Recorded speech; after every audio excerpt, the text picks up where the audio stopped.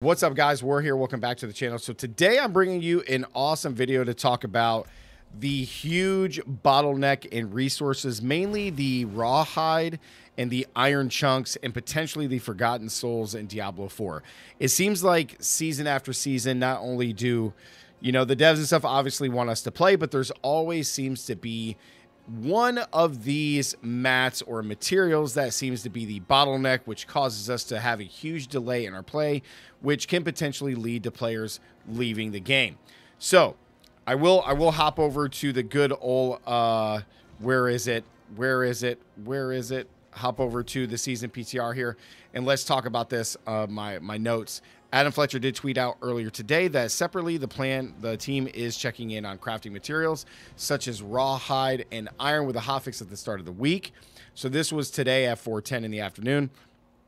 Um, so potentially tomorrow we will get a buff. I'm not sure what that buff is. I wish I had more information for you guys, but there's a lot of people down here in the comments um, that are very upset, and I'm going to go ahead and add on here and go, awesome, finally.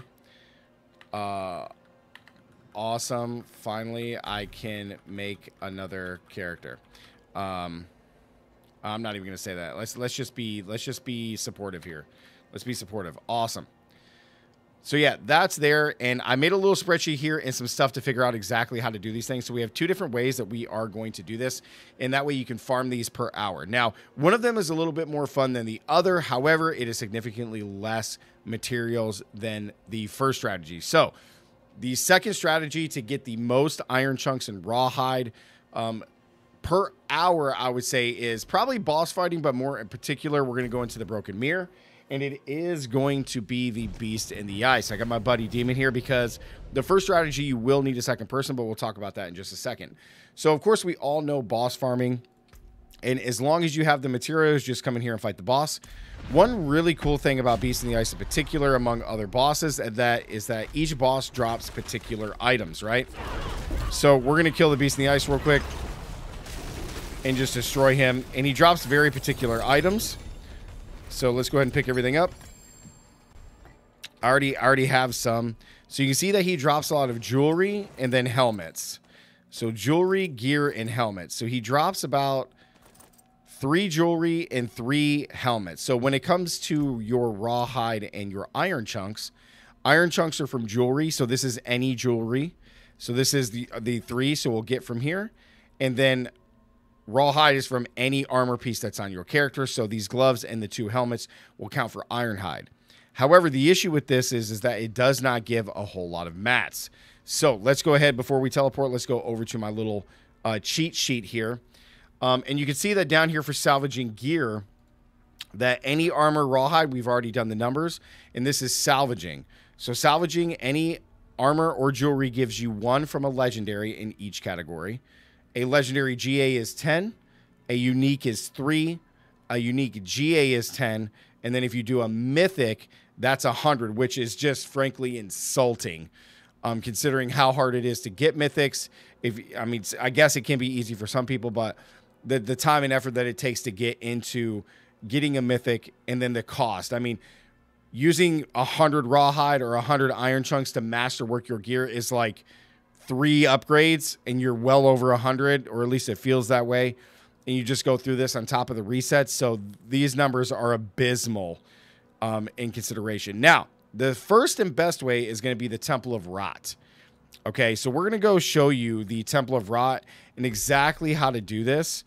Um, the Temple of Rot, my teammate's already here, so I'm just going to teleport to him really quickly. The Temple of Rot is by far the best way. However, it is the most boring way because at least if you do Beast in the Ice, or at least if you do like Duriel, or if you go do Varshan, or you go do Grigoire, at least you know you're getting like some really good mats? Or not mats, but you're getting like some items. You're getting some runes, right? You're getting some gear that you could potentially use for a character or a build. And I mean, you know, these things salvage really, you know, decently.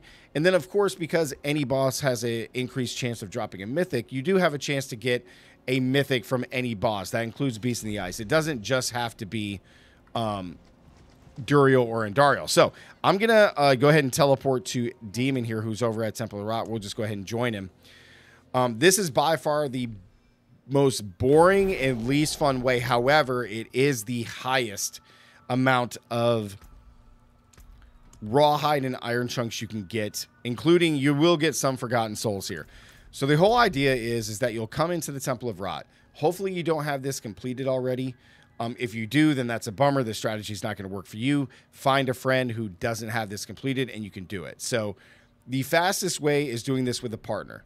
However, if you cannot do it with a partner, then you do have to go ahead and leave game every time you open up a chest and then come back in and rinse and repeat. So if you have a partner or somebody who wants to do this, then fine. The other way, if you want to do it, is if you have a brand new character, you can make a brand new character real quick just to do this, just to farm materials.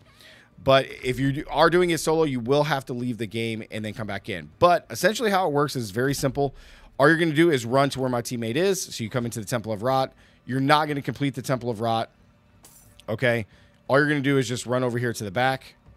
Super easy. And then here is like the trick. So what you're going to do is you're going to open up the resplendent chest. So you will see my materials here. So I have 860 iron chunks, 1529 rawhide, and I have to 2,117 Forgotten Souls. So you're going to open the Resplendent chest. It's going to drop a few items and a bunch of materials here. Okay, now before I do the second part, I'm going to go ahead and go back into my sheet here and break down the time, the, the amount that you get. So each rawhide you get from opening this chest is 65. You get 27 iron chunks and you get uh, 10 forgotten souls. Okay, 10 forgotten souls. So you can do this in easily 20 seconds, right? So again, I was going to put my start numbers in here, but we already have it. Um, if I go back into the game and I go in here, right, you can see that I went up, right, to 8100. Then I have 1570 rawhide, and then we got 2127 instead of 2117 forgotten souls. So here's the trick. Now you will get a few extra rawhides and stuff from these items, but here's the trick. All you're going to do is leave the party I'm going to leave the party. It's going to kick me from the stronghold. It is also going to kick your teammate from the stronghold. And this takes like less than 20 seconds to do this all over again. So now my teammate is going to request to join. And then all we're going to do is run to the back. Run all the way to the back. And you can be on your mount, which makes this even faster. You're going to come all the way to the back. And then you're just going to open up the chest. And you're going to rinse and repeat. So it's very, very easy. It's very quick. You can literally do this in sub 20 seconds. So again, you'll look at the numbers here. We can even input them just for the video. So 81 and 1570. So we got 8100 raw or uh, 1570 rawhide, 8100 chunks, and then what was this? 2127, right? 2127 of those. Okay, then we will pop it, open it up, get a couple more items, right? And then you are getting veiled crystals on top of this, which is really nice. So let's go take a look. Uh, 8115, 1600. 80, 8115, 1600. And then what is the last one? 23, 2137. So 2137. So again, oh, the numbers are actually different this time. So maybe it's not 65 every time. Oh, that's bad for the video, but I'm going to leave it in there because we're human and we all make mistakes. So we got 65 the first time, and then this next time we got 30. This time we got 15, and then this time we got 27 or 10. So we're going to do it one more time. We'll go through and do it one more time just for the video. Boom. I'm glad that was on there. It seemed like it changed because that first run we did get 65. So I want to be sure if this if this changes. He'll join again. This way you guys can farm it efficiently and kind of just crack down the numbers here. So we'll wait again. Remember, always wait for your teammate to show up. We have the same numbers here, 8115, 16, and 2137 which is our end, and then we'll compare it and see what we have as our teammate gets here. Let's go ahead and pop. Bang. All right. Then let's go see what we got here. 8145, 1654. So we got 8145, so we gained 30 this time. And then we have 1654, so we gained 54 this time. And then, of course, we always got 10. So it looks like based on the number of items that we got is determined on how many items we actually get. So on average, we're getting about 40 of those, which is really nice. I think the max that you can get on uh, like rawhide is 100 if no items pop. So this is by far the best and most efficient way to farm these these items. Again, farming iron chunks, rawhide, and then forgotten souls if you need those. However, it is the most boring way, right? You're just leaving party, you're resetting the stronghold, and then you're just going through and just popping these chests. So I'm glad that we got to see this a couple times and I didn't leave you guys astray on 65 per run because this time we got like 50, this one got 40, and then we got 10 always on Forgotten Souls. So you're going to have a nice little average between 30 and 40 on every single chest, which is nice. So, and then you have your higher runs like this time with 50, 65, etc. So it's kind of nice, but again, guys, this is by far the best way. So like the video, comment down below. I will update this guide and stuff with the new changes tomorrow, uh, depending on when it gets rolled out for all the raw rawhides. But in the meantime, guys, until those changes come, and hopefully those changes are better, especially when it comes to the salvaging of our gear.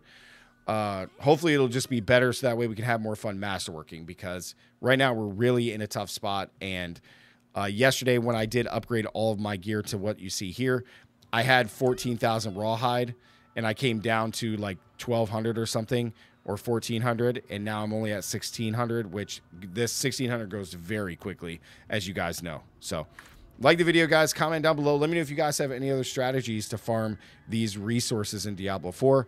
Don't forget to subscribe. And as always, stay gaming. I'll see you guys in the next one. Peace.